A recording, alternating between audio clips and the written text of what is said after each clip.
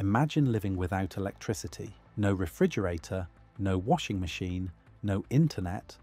Sounds like a nightmare, right? But our ancestors in the Middle Ages had solutions that were sometimes smarter than what we use today. They built cooling systems that worked without energy.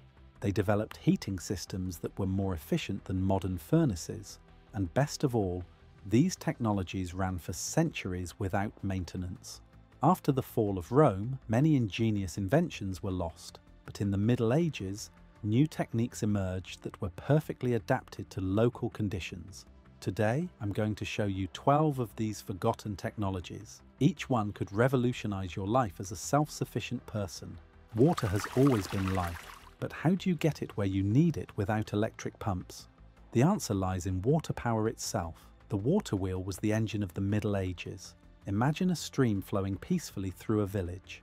At its side, a wooden wheel, three meters high and made entirely of oak, turns slowly. This wheel not only drives the mill, but also saws, hammers, and even textile machines. A single stream could supply an entire village with energy. The technology behind it is ingeniously simple. Flowing water hits the blades of the wheel and sets it in motion. This rotational movement is transmitted to various tools via gears and shafts. Overshot water wheels, where the water comes from above, achieved efficiencies of over 70%. That's better than some modern turbines. But water wheels could do even more. In the Netherlands, they pumped water out of flooded areas. In mountainous regions, they lifted groundwater to higher elevations, all without a drop of gasoline or a kilowatt hour of electricity. Then there were the water lifting machines. The Noria, a vertical water wheel with pots or buckets, continuously drew water from rivers and wells. This technology originated in the Orient but was also used in Europe. The principle, the wheel turns with the flow, the containers fill with water at the bottom and empty into channels or basins at the top. Even cleverer were the pumping stations with Archimedes' screw, a spiral screw in an inclined pipe transports water upwards when it is turned. Windmills drove these screws and thus drained entire areas of land. Without this technology, Holland would still be a swamp today. Medieval water pipes were also impressive. While the Romans relied on stone and lead, medieval engineers experimented with wood and fired clay. Hollowed out tree trunks, mostly oak or elm, served as pipes. These were reinforced with iron rings and sealed with pitch or resin. Such wooden pipes lasted for decades and were much cheaper than metal pipes. Clay pipes were even more durable. They were fired in special kilns at high temperatures until they became rock hard. These pipes withstood frost and root pressure better than many modern plastic pipes. In German cities such as Augsburg and Nuremberg, such pipe systems supplied thousands of people with fresh drinking water. Why were these systems more reliable than modern pumps? Quite simply, they had no moving parts that could break. A water wheel runs as long as water flows. No electronics to fail, no filters to clog, no motors to overheat. Today, micro hydropower is experiencing a renaissance. Small water wheels with a diameter of only one meter can generate enough electricity for a homestead. All you need is a stream with a constant flow and some manual skills. The technology is the same as it was 800 years ago only the materials have become more modern. A homemade water wheel costs a fraction of a solar system and runs 24 hours a day. No batteries, no inverters, just pure mechanical energy. For self-sufficient people living near streams or small rivers, this is the perfect solution. While water wheels powered villages, other technologies provided cosy warmth during the cold months. The tiled stove was the king of medieval heating technology. Imagine a stove that not only heats but also stores heat for hours and releases it evenly. Tiled stoves consisted of special clay tiles that were inserted into a lattice work of clay and stones. The secret lay in the mass. These stoves often weighed over a ton and stored heat like a giant battery. Once properly heated, they radiated heat for 12 to 24 hours. You only had to add wood twice a day and the whole room stayed cosy and warm. The tiles were fired at over a thousand degrees and glazed, which not only looked beautiful but also optimized heat emission. Even more impressive were the hypocaust heating systems, a legacy from Roman times that was further developed in the Middle Ages. This underfloor heating system worked without pumps or pipes. The trick, hot air circulated under the floor through a system of brick channels. A central furnace, usually in the kitchen or basement, produced hot gases. These flowed through cavities under the floor and rose through channels in the walls. The heat was distributed evenly throughout the room without having to carry wood into each individual room. Monasteries and castles used this technique to heat large halls. But what about cooling? This is where medieval builders showed true ingenuity. The ice cellar was more than just a hole in the ground. These underground chambers were strategically located, usually on north-facing slopes or under thick stone walls. In winter, ice was cut and stored in layers with straw or sawdust. The construction method was crucial. Thick stone walls, often one metre thick, insulated against heat from outside. Double doors with airlocks prevented warm air from entering. A drainage system drained meltwater without damaging the insulation.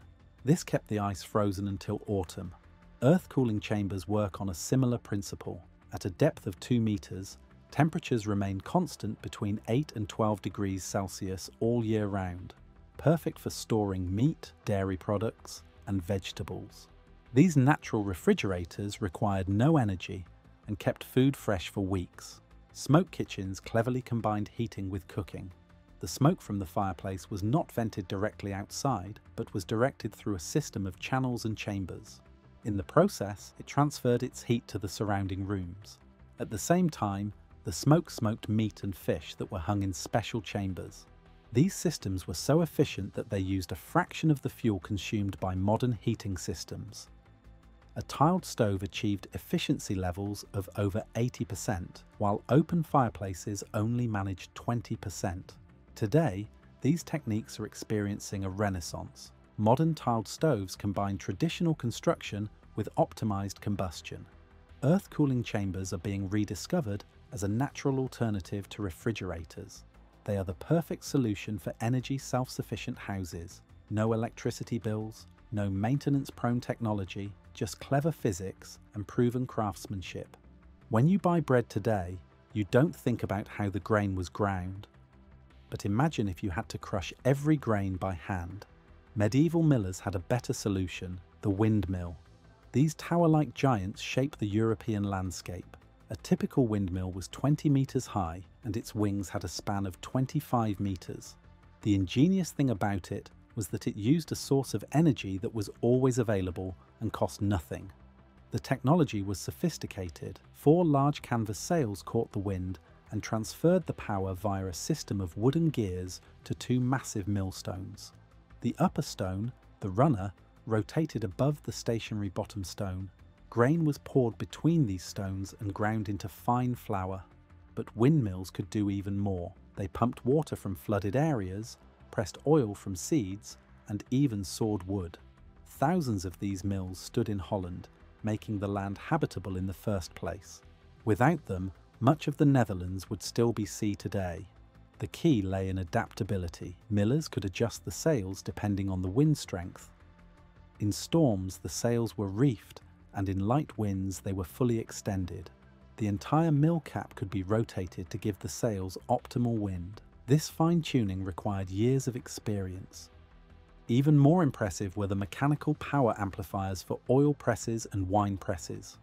The screw press multiplied human power a hundredfold. A simple lever, combined with a threaded spindle, generated enormous pressure. Imagine you want to press walnuts. By hand you can probably exert 10 kilograms of pressure. With a screw press, you can exert a ton. The crushed nuts were filled into coarse linen sacks and placed under the press. The spindle was slowly turned until the golden oil ran out. Wine pressing worked on the same principle. Grapes were poured into a wooden trough and covered with a heavy board. The screw press pushed the board down and squeezed every drop of juice from the grapes. This juice was purer and clearer than that produced by the traditional method of treading. Meat preservation was essential for survival, especially in winter, Smokehouses combined heat, smoke, and time to create the perfect preservation method. These brick chambers had a fireplace in the basement and several floors with hooks for hanging meat. The secret lay in the choice of wood. Beech, oak, and fruit tree woods not only gave the meat flavour, but also antimicrobial substances. The smoke slowly dried the meat and formed a protective layer against bacteria. Meat preserved in this way was edible for months. Curing techniques complemented smoking. Meat was pickled in brine or rubbed with salt mixtures. The salt drew water out of the meat and made it inedible for harmful microorganisms. Combined with spices such as juniper or caraway, this created delicacies that are still appreciated today. Fermentation was the supreme discipline of preservation. Sauerkraut, pickled cucumbers, and fermented dairy products were created through controlled fermentation. Lactic acid bacteria converted sugar into acid and preserved food naturally. These techniques work just as well today as they did back then.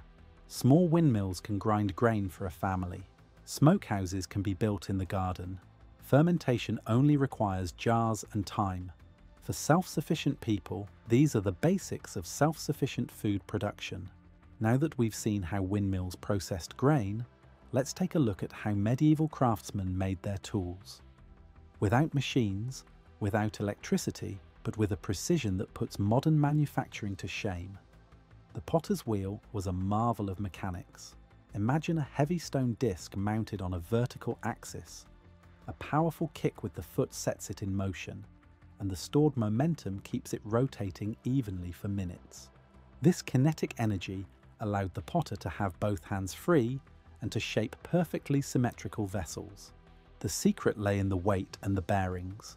The flywheel often weighed over 100 kilograms and was made of dense stone. The axle ran in wooden or stone bearings that were lubricated with animal fat.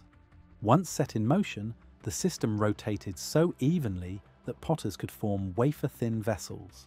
Firing kilns reached temperatures of over a thousand degrees without any gas or electricity.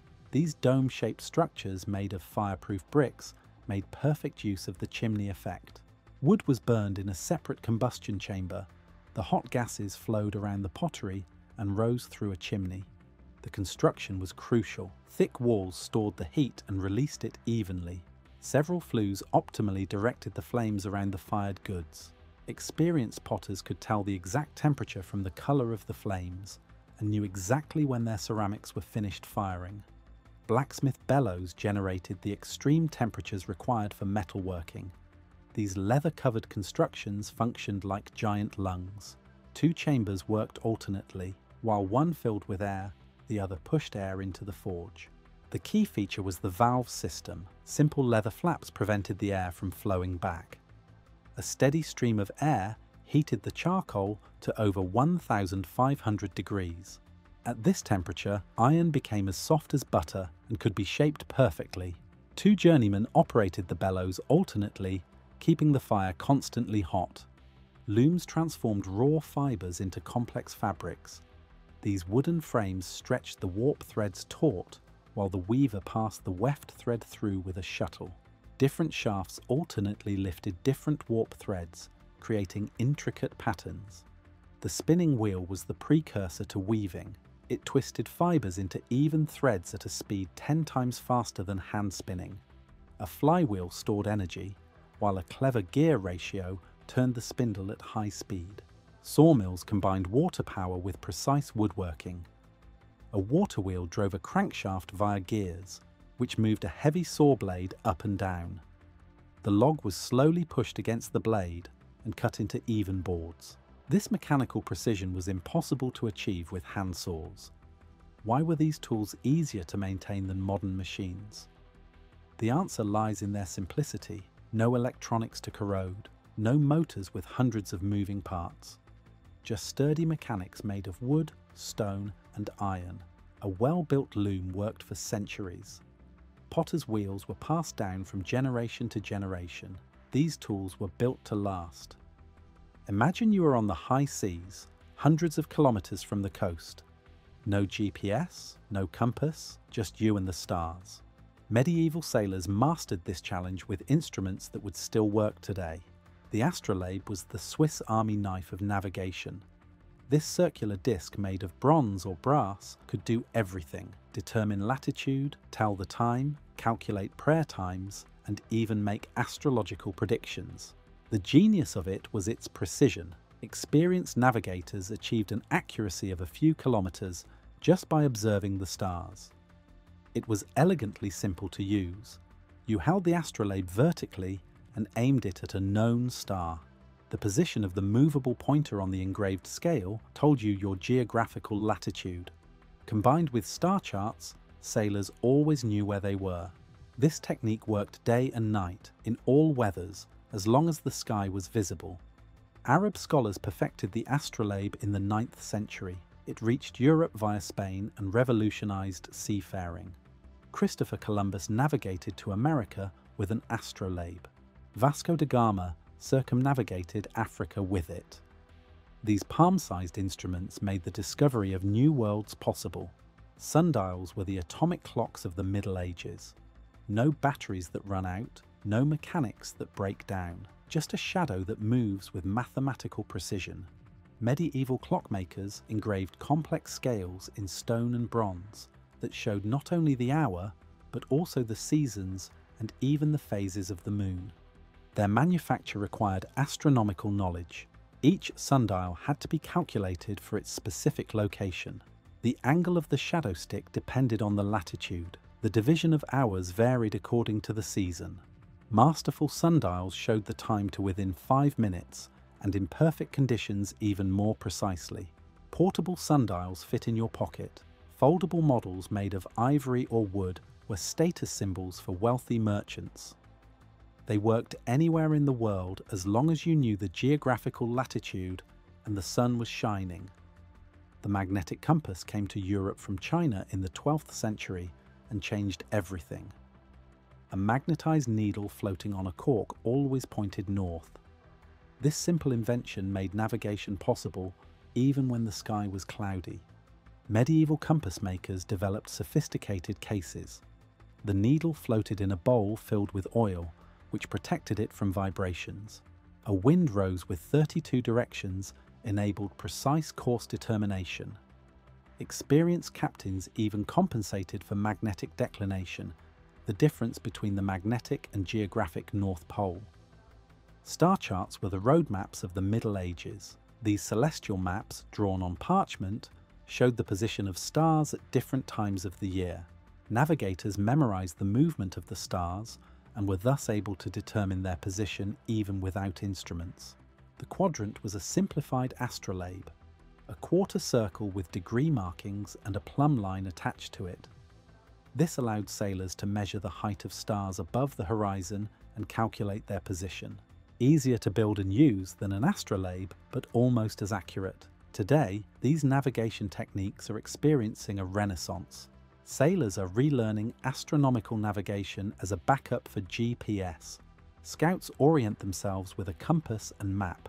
Survival experts build sundials out of sticks and stones. Why is this relevant? Because technology can fail, satellites can be shut down, batteries can run out, electronic devices can break. But the stars always shine. The magnetic compass works without electricity. These medieval techniques are your life insurance when modern navigation fails. These 12 technologies have one thing in common. They have been working reliably for centuries, without electricity, without complicated maintenance, without expensive spare parts. While our smartphones are obsolete after three years, medieval water wheels are still turning. This is more than just nostalgia, it is practical wisdom our ancestors built for generations, not for planned obsolescence. They used local materials and natural energy sources. They developed systems that repaired themselves or were so simple that anyone could understand them. For them, sustainability was not a marketing term, but a necessity for survival. Resources were precious, waste was deadly. That's why they created technologies that worked in harmony with nature rather than against it. Which of these techniques would you like to try? Maybe a small water wheel for your stream? A smokehouse for the garden? Or perhaps a sundial for the terrace? Write your ideas in the comments.